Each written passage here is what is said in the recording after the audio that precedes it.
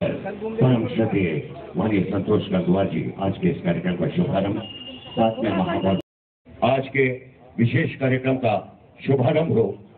साथ और प्रगति कर्माकर के बाद आएँगे निबंध प्रतियोगिता की विजेता खुशी सिंह चौहान।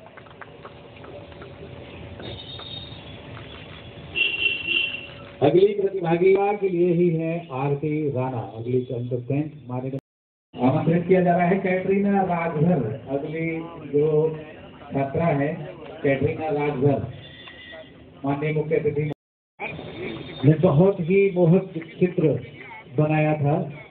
विशेष तौर से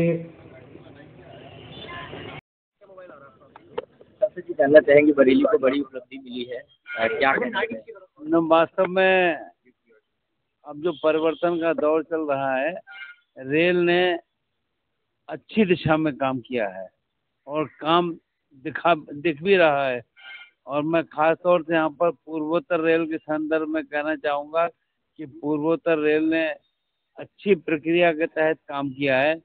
और अब जैसा कि हम लंबे समय से कहते आए हैं कि दक्षिण भारत के लिए भी ट्रेनों का सिलसिला पूर्वोत्तर रेल का शुरू होगा और उसकी पहचान बरेली से बढ़ने का काम होगा। बरेली से मुरादाबाद, बरेली से मथुरा और आगरा होते हुए आगे के रूट को निश्चित रूप से अब शुरू किया जा रहा है और अच्छी दिशा में काम भी हो रहा है।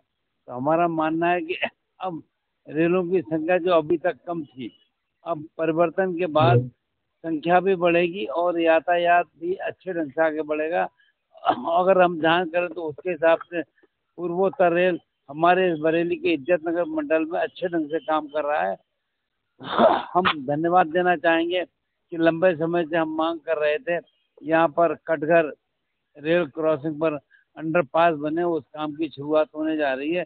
बरेली में और भी इससे मिलते जुलते विकास के काम हो रहे हैं।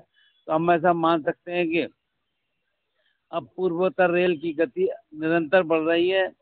एक अच्छे स्टेशन बनाए जाना और अब अच्छी वर्ल्ड क्लास क्षमता के स्टेशन बनाए जाना और बरेली को दक्षिण भारत से जोड़ने का काम, पूर्वोत्तर रेल करने का काम कर रहा है और हमारा ऐसा मानना है कि आने वाले समय में यातायात भी यहाँ पे बढ़ेगा, रेल की संख्या भी बढ़ेगी और दूर स्टेशनों के लिए भी यहाँ से ट्रेन का आवागमन होगा। थैंक यू श्रृंखला के ही R N Sagar, R N Sagar को माननीय मुख्य अतिथि महोदय प्रमाण पत्र प्रदान करेंगे और केंद्रीय विद्यालय अनियार से सम्मानित करेंगे।